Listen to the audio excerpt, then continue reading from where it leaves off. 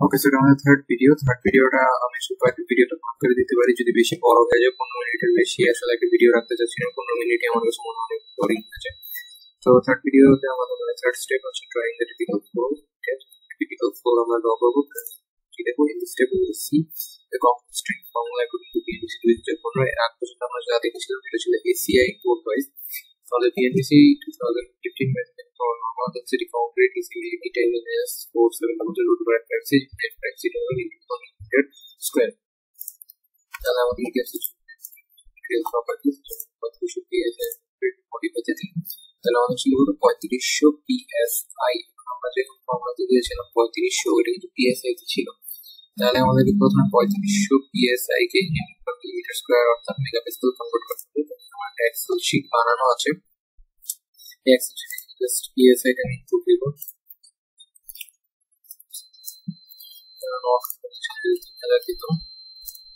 ঠিক আছে auto change হয়েছে বানায় রাখছি। পঁয়ত্রিশশো দিলাম। পঁয়ত্রিশশো দিলে আমার পার মিলিমিটার স্কোয়ারে আসতেছে fifty four per millimetre square then আমাদের ইলেকট্রিসিটি মেগা প্যাসকেলে এটা এখন দিলে দেখতে দেখা যাচ্ছে twenty four seven double zero square root of G nine G nine যে জি সেলটা টোয়েন্টি ফোর তাহলে এটা আমরা পেয়ে গেলাম মোডাস ইলেকট্রিসিটি মেগা প্যাসকেল কিন্তু আমাদের ইউনিটটা ছিল pound per square inch modulus elasticity so এটাকে আমরা পাউন্ড পার স্কোয়ার ইঞ্চিতে নিয়ে যাব। এই সাইডে নিয়ে যেতে হলে এখানে করব জাস্ট আমরা ভাগ দিব। Zero point zero zero six eight nine four seven six এটা দিয়ে ভাগ দিলাম কেন? কারণ এই যে ওয়ান পার ওই যে পিএসআই ওয়ান পিএসআই দিতেছে এত মেগা প্যাসকেল এই জন্য এটা দিয়ে ভাগ দিয়ে দিচ্ছি ঠিক আছে? তাহলে আমরা পাই গেলাম কত? Three three four eight six seven zero তাহলে এটা চেঞ্জ করে দিব। থ্রি থাকুক। Three three four eight three four eight six seven zero six seven zero ঠিক আছে?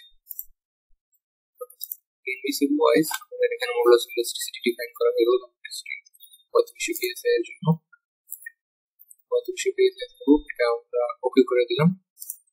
স্টেপটা কমপ্লিট কথা হচ্ছে যে এক্সেল শিট খুবই সিম্পল একটা শিট এটা যে কোনো কারণে বানাতে পারার কথা। অনেকে ছেলে করতে পারে এখন কারও যদি এক্সেল শিট বানানোর সমস্যা থাকে, এখানে আহামরি কোনো ফর্মুলা ইউজ করে নিই সিম্পল কোন ভাগের ফর্মুলা তাহলে আমার মাইক্রোসফট এক্সেল এর বেসিক এর একটা টিউটোরিয়াল ভিডিও আছে, ওইটার লিংক আমি ভিডিও ডিসক্রিপশনে দিয়ে দিব। এটা দেখে নিতে পারেন।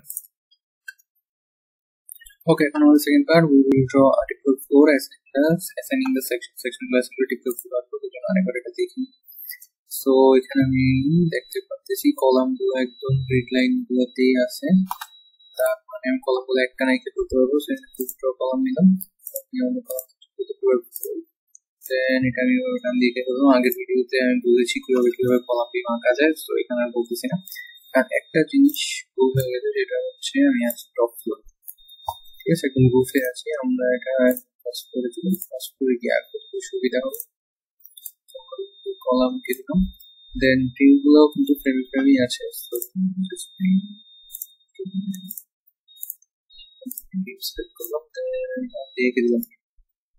ওকে এখন স্ল্যাবগুলো বসাবো। স্ল্যাব কিন্তু আমরা আগে দেখিনি কীভাবে বসাতে ড্রতে যাচ্ছি যে ড্র গ্লোবাল অবজেক্ট অপশন যেখানে একটা প্রথম অপশন স্ল্যাবে এটা দিয়ে কীভাবে আঁকবো? এখানে ক্লিক করলাম দেন নেক্সট ক্লিক করলাম দেন নেক্সট ক্লিক করলাম দেন নেক্সট ক্লিক করলাম ল্যান্ডিং পয়েন্টে ক্লিক করলাম, ব্যাস। তাহলে স্ল্যাব হয়ে গেল এই স্ল্যাবটাকে এটা টেক ওয়ান হবে না।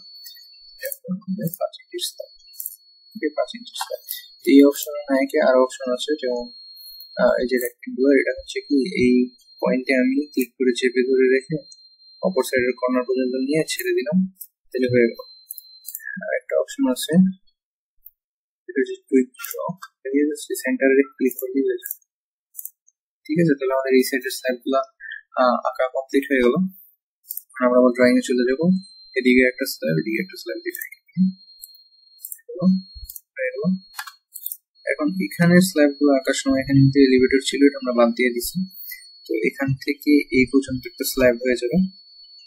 এই স্ল্যাবটা বসাই দিচ্ছি। এখানে স্ল্যাব হয়ে এখন আমাদের যে স্টেয়ারের জায়গা স্টেয়ারের যে জায়গাটা স্টেয়ারে আমরা বসাবো আট ইঞ্চির স্ল্যাব বসাবো। আট ইঞ্চির স্ল্যাব বসাবো এবং এই সাইডে কিন্তু আমাদের একটু বাকি রয়ে যাইতেছে। তাই না? এটা কিন্তু আমাদের ফ্লোরের স্ল্যাব যেমন আমাদের এই বরাবর যে গ্রিড ছিল, সেই গ্রিডটা আমাদের আবার লাগবে।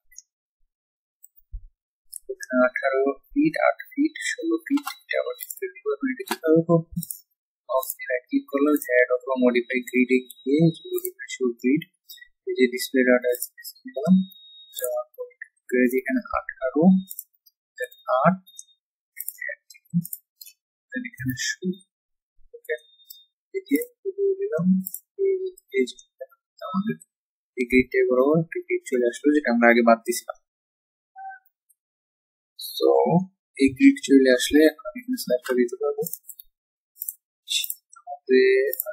স্ল্যাব থেকে এই পর্যন্ত জায়গাটা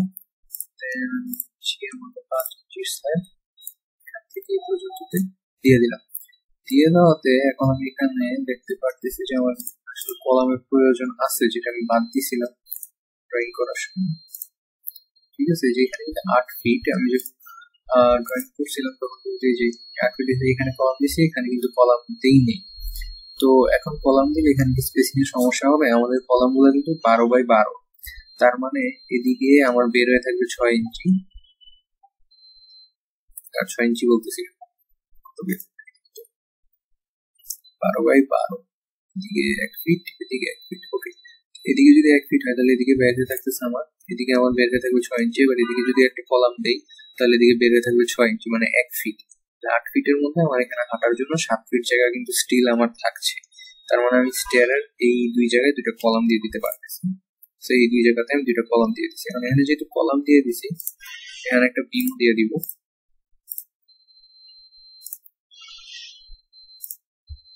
সেখানে একটা বিম দিয়ে দিলাম। হয়ে গেল। তাহলে এখন আমি সেকশন প্রপার্টি আলাদা করে দেখতে পারি এবং চিপসের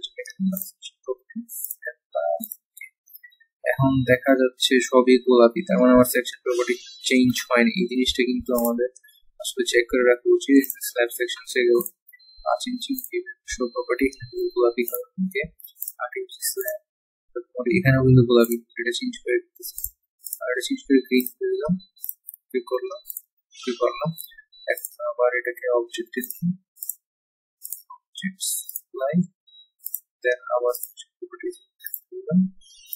ওকে তাহলে পার্থক্যটা আমরা বুঝতে পারতেছি। এটা হচ্ছে আমাদের আট এবং হচ্ছে আমাদের স্ল্যাব ঠিক আছে? ওকে আমাদের পর্যন্ত হয়ে আরেকটা জিনিস, সেটা হচ্ছে আমাদের এখানে যে স্টেয়ারের যে ল্যান্ডিং এদিকে তো ল্যান্ডিং আছে এদিকের সাথে। আর এই যে ল্যান্ডিংটা যে ছিল, এটা কিন্তু আমি এখান থেকে এতটুকু যে একটা স্ল্যাব দিয়ে ফেলেছি এই যে আমরা যে এখানে যে দিয়ে ফেলেছি, এটা এখানে কিছু অংশ কিন্তু এখানে ল্যান্ডিং এ আসার কথা ছিল। বাট এই ড্রয়িংটা না খুবই একটা ভেজালের ড্রয়িং সো এখানে যে এদিকে যেমন ছাব্বিশ ফিট আর ষোলো ষোলো ফিট ছাব্বিশ ফিট যতটুকু, ষোলো ফিটও ততটুকু তো এই ড্রয়িংটা নিয়ে কাজ করা একটু ঝামেলা। তো আমি এখানে ধরে নিতেছি যে এই জায়গাটা এখানে নাই। এটা আমাদের এখানেই থাকবে এবং ওভাবেই আমরা দিব। কারণ এখানে পনেরো ফিট স্পেস যেহেতু, তো এখানেই আমি ল্যান্ডিং দিতে পারি, এখানেই স্টেয়ার দিতে পারি। আমার এখানে আসার কোনো দরকার নেই, তাই আমরা এভাবেই রাখব। এখন আমাদের যে জিনিসটা বাকি খালি, সেটা হচ্ছে যে এদিকে একটা বারান্দা, এদিকে একটা বারান্দা, দুইটা বারান্দা। তো বারান্দা অনেকভাবে আমরা রাখতে পারি। এখানে জাস্ট ক্যান্টিলিভার স্ল্যাব দিয়ে দিলেই হবে। তো আমি আসলে এখানে দুইটা পদ্ধতি দেখাচ্ছি। যাব। এখানে বিমটা নিব হচ্ছে আমাদের এবং এখানে যাবে আমাদের কত দুই feet two point five feet বলছিলাম, তাই না? দুই ফিট ছয় ইঞ্চি বারান্দা হবে তো এখানে অফসেট নিব, আমরা তিরিশ ইঞ্চি নিয়ে করে দিলাম, তাহলে যেখানে একটা নান বিম হয়ে গেল করে দিলাম বিম ঠিক আছে, এখন নান বিম হওয়ার পরে স্ল্যাবটা সিলেক্ট করে দিলাম। তাহলে এখানে আমাদের পাঁচ ইঞ্চি স্ল্যাব হয়ে গেল। ওকে এখন নান বিমটা জাস্ট ডিলিট করে দিই। এটাও ডিলিট করে দিই, কারণ আরেকভাবে দেখাতে যাচ্ছি, এখন এই, এটা একভাবে আঁকা যায়, এটা করলে কিন্তু আমি পরবর্তীতে ডিলিট করে দিতে পারতেছি। আরেকটা করা যায়, সেটা করলে আমি জিনিসটা কিন্তু ডিলিট করতে পারব না। এটা হচ্ছে যে ড্র রেফারেন্স পয়েন্টস পয়েন্ট নিলাম। তাহলে যে এক্স ডাইরেকশনে আমি বলতে তিরিশ ইঞ্চি যাবে রাইট তিরিশ ইঞ্চি যাবে দেন আমি এখানে ক্লিক করব? যে আমার তিরিশ ইঞ্চিতে একটা রেফারেন্স পয়েন্ট এসে পড়ল আবার এখানে ক্লিক করলাম? এখানে তিরিশ ইঞ্চিতে একটা রেফারেন্স পয়েন্ট এসে পড়ল আসার পরে আমি জাস্ট স্ল্যাব নিয়ে থেকে দিলাম তাহলে আমার কিন্তু হয়ে যেতেছে। ঠিক আছে?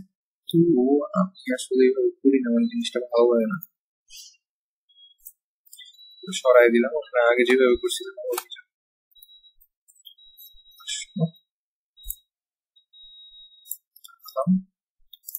দিলাম করলাম করে ওকে তো আমাদের এই স্টেপে আমাদের এখানে ছিল দেন আমরা কি থিকনেস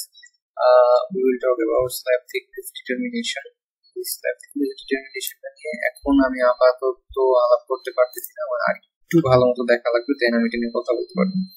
তো এটা আপাতত আমরা বাদ দিতেছি এখানে। ঠিক আছে, দেখাই কিন্তু বাদ দিলাম। আকাশ থেকে কিন্তু বাদ দিয়ে দিলাম না।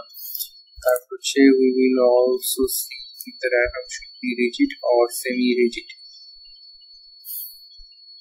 হচ্ছে তো ডায়াফ্রাম আসলে এখন না দিই, আমার এটা যখন ডায়াফ্রামটা অ্যাপ্লাই করব, তখন ডায়াফ্রাম নিয়ে কথা বলাই বেটার তো আপাতত থ্রি পর্যন্ত এতটুকুই রাখি ড্রয়িং পর্যন্তই রাখি। এই ছিল আমাদের স্টেপ থ্রি পর্যন্ত। দেখা হবে নেক্সট ভিডিওতে থ্যাংক ইউ ভেরি মাচ